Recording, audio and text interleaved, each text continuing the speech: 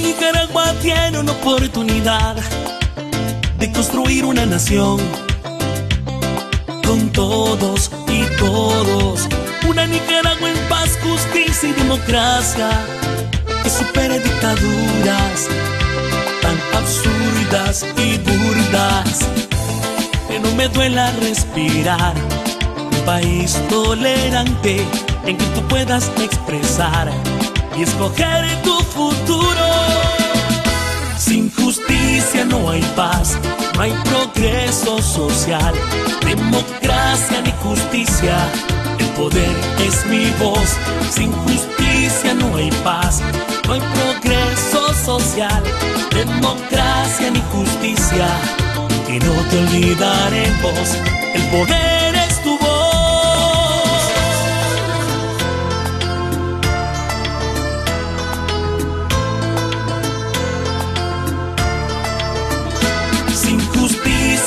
hay paz, no hay progreso social, democracia ni justicia.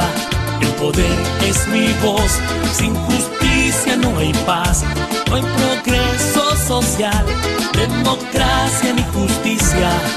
Y no te olvidaremos, el poder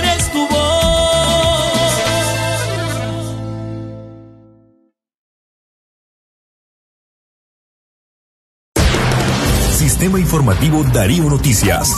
Vamos a continuar con la información porque la Darío Noticias, la manera más eficiente de informarte. 893, calidad que se escucha. Darío Noticias. Damas y caballeros, ¿qué tal? Tengan todos una excelente mañana y bienvenidos a una nueva edición de Noticias en la Mañana en la plataforma en Facebook de Radio Darío 89.3. Les acompaña Francisco Torres Tapia para traerles las principales informaciones de este día miércoles 13 de julio del año 2019. Iniciamos con las informaciones porque paramilitares atacaron la vivienda del líder estudiantil de la ciudad de León, Byron Estrada. A través del siguiente video, su progenitora, la señora Yesenia Estrada, narra el momento. Darío Noticias.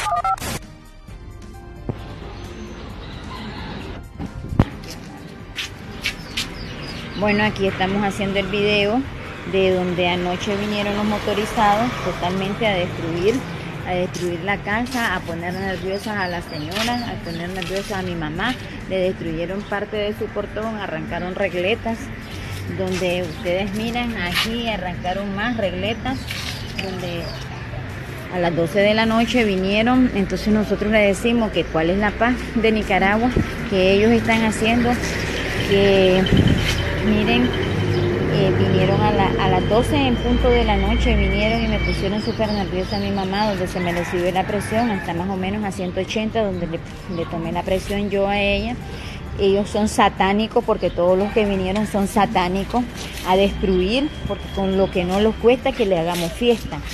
Entonces yo les pido y le digo que cuál es la paz y la reconciliación que quiere Daniel Ortega y la Rosario Murillo, porque esto es satanismo totalmente, porque donde están las personas dormidas a venir a hacer desastre, creo que es injusto. Entonces lo hacemos público, lo hago público, porque esto ya no lo aguantamos, ya no aguantamos más asedio. ¿Qué es lo que quieren? Les hago la pregunta, ¿qué quieren? Porque nosotros no le hacemos daño a nadie. Darío Noticias. Otra víctima de ataques de turbas sandinistas en horas de la madrugada de este miércoles ha sido la vivienda del líder estudiantil Nairobi Olivas. Su mamá, la señora Jacqueline Valdivia, a través de su cuenta en Facebook, colocó unas fotografías describiendo el momento que vivieron junto a sus familiares cuando sujetos en motocicleta y además con cascos patea- patearon y agarraron a pedradas la vivienda de este. Veamos la publicación que hizo la señora y otras fotografías también de cómo quedó la vivienda. En su publicación, Jacqueline Valdivia destaca Buenos días Nicaragua, les comparto las muestras de amor, tranquilidad y paz que tanto habla el desgobierno. Como lo que son delincuentes adiestrados irrumpen en las casas de las familias de carcelados a altas horas de la noche y madrugada, motorizados con cascos y pasamontañas cubriendo sus rostros, haciendo destrucción de las viviendas. En este caso, agarraron a patadas el portón de mi casa, gritando lo que les da la gana, como personas endemoniadas y llenas de odio. Ahí una muestra de los actos de vandalismo que realizan estos individuos y también eh, publicó cuatro fotografías del portón de la vivienda en donde hay señas de pedradas y también de puntapié pegados por estos sujetos que atacaron en horas de la madrugada la vivienda del líder estudiantil Nairobi Olivas. Por otra parte, el doctor Carlos Tunderman, miembro de la Alianza Cívica por la Justicia y la Democracia, instó al gobierno de Nicaragua a cumplir los acuerdos de la mesa de negociación, esto para reanudar el diálogo en nuestro país. Veamos a continuación sus declaraciones. Darío Noticias. Y esa resolución en su punto 2 dice textualmente, instamos a la pronta reanudación de la mesa de negociación para un diálogo efectivo y de buena fe entre el gobierno y la alianza cívica y al cumplimiento de los acuerdos que ya se han aprobado en la mesa de negociación. Entonces, ese punto lo consideramos de tal importancia que hemos dedicado mucho tiempo a valorar cuál va a ser nuestra posición en relación a lo que nos está instando la Asamblea General de la OEA, que es a la reanudación de la mesa de negociación. Y esa eh, decisión de parte de la Asamblea General, recuerden ustedes que fue aprobada por 20 países. Y esos 20 países son de los países más importantes, porque los que votaron en contra, si bien son países que merecen toda nuestra consideración, fueron solo 5, entre ellos Nicaragua. En cambio, 20 representan una posición del continente casi, casi es una posición continental. Y en consecuencia, nosotros le estamos dando toda la valoración del caso. Una reanudación de la mesa de negociación sería para tratar temas de enorme trascendencia, que son los que están pendientes en la agenda que se aprobó, de común acuerdo entre el gobierno y la alianza. Están pendientes de considerar a nivel de la mesa de negociación el tema de la justicia, el tema de la democratización. Y el tema de la democratización significa conocer los proyectos de reforma electoral y sabemos que en eso está trabajando la, Secretaría General de la OEA, que incluso eh, tiene un entendimiento con el gobierno para preparar una propuesta de reforma electoral. Darío Noticias. En otro orden de noticias, un grupo de manifestantes irrumpieron en la Catedral de Matagalpa. A continuación vamos a escuchar declaraciones del vicario de esta ciudad, Sadiel Ugarrios, al medio Radio Hermanos. Darío Noticias. Hemos visto, Padre Sadiel, en redes sociales donde se ve a un grupo de personas con bandera roja y negra en el atrio. ¿Qué fue lo que exactamente sucedió? Sí, resulta que se disponía a una Eucaristía que casualmente ya está por finalizar.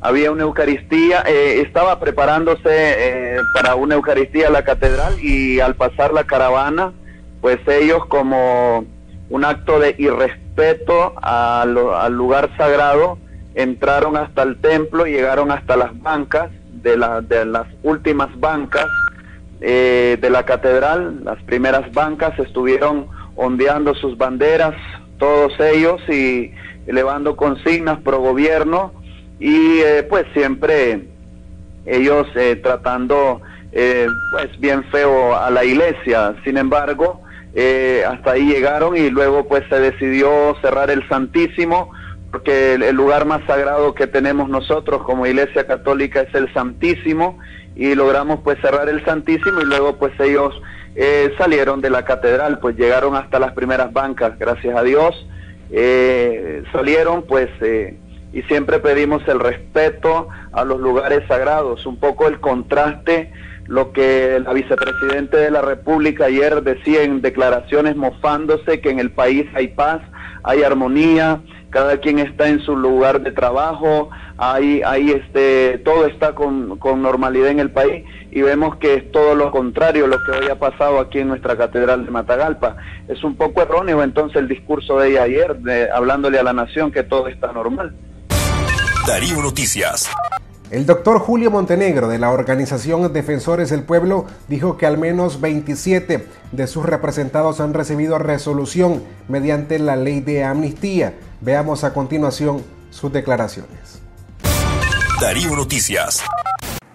Eh, esto para un total de 27 personas que han salido por vía de lo que son resoluciones eh, judiciales que consideramos nosotros pues no llenan todos los requisitos de ley porque únicamente hace referencia a un renglón sin citar este articulado eh, específico del Código Procesal Penal, haciendo referencia a que son aparentemente y entre comillas beneficiados por la ley de amnistía. Ya sabemos nosotros efectivamente que ellos no tienen por qué ser amnistiados, perdón y olvido no vale para ellos puesto que los procesos no fueron reales. ¿Qué es lo que debió haber este, en este caso aplicado la autoridad judicial. Bueno, lo que tiene que ver, y estos son los números del Código Procesal Penal, el articulado que se debe contemplar, el artículo 72, numeral 10, que hace referencia que es una vía de la extinción de lo que es el proceso penal. En su numeral 10 está eh, propiamente lo que corresponde a la amnistía, el artículo 151, el artículo 155 y el artículo 156 de ese mismo cuerpo de ley de manera eh, remedial por un recurso horizontal que conocemos los abogados como recurso de reposición, algunos colegas que son parte del grupo que estamos haciendo esfuerzos por llevar adelante estos procesos de lo que representamos los privados de libertad políticos, pues han introducido el día de ayer este, un recurso de reposición solicitando a la autoridad que pueda estimar en este caso cuál debe ser este, la manera correcta en que ellos debieron haber resuelto. Darío Noticias. En una entrevista a La Voz de América, la ex rea política Irlanda Jerez dijo que la crisis en Nicaragua es monumental. A continuación, veamos la entrevista. Darío Noticias. En Nicaragua se mantiene un escenario de protesta en reclamo de un cambio político. Una de las activistas de las calles de ese país, Irlanda Jerez, viajó a Estados Unidos tras ser liberada después de más de 300 días de arresto. Vamos a cumplir 15 meses de una insurrección cívica. Estamos ante una crisis sociopolítica eh, monumental en la cual ha afectado toda la parte económica de todo el país, desempleo masivo. Jerez, odontóloga de profesión, denuncia que además de haber sido apresada por el gobierno de su país por protestar, fue objeto de violación de derechos humanos, tanto dentro como fuera de la cárcel. La activista fue liberada en junio de este 2019. El mismo día que se confiscaron mi casa, un grupo de paramilitares armados, aproximadamente 50 personas, golpearon a mi esposo, trabajadores dentro de la casa nuestra casa de habitación con todo lo que había ahí, toda la historia de nuestra vida, artículos personales, vehículos, animales, están secuestrados también. Uno de los objetivos de su viaje a Estados Unidos es reunirse con la diáspora nicaragüense. Aunque apoya la ayuda de la comunidad internacional, Irlanda Jerez reclama mayor contundencia. La voz del pueblo de Nicaragua es solicitarle a los diferentes organismos eh, internacionales, a los diferentes países de este continente y de los otros continentes, todas las sanciones, todas las acciones, todas las medidas posibles para presionar al régimen. Darío Noticias. Hasta aquí nuestra edición informativa. Les invito a que nos acompañen hoy a las 6 de la tarde en Noticias Live. Tengan todos un buen día miércoles. Sistema Informativo Darío Noticias. Vamos a continuar con la información porque la Darío Noticias, la manera más eficiente de informarte. 893, calidad que se escucha. Darío Noticias.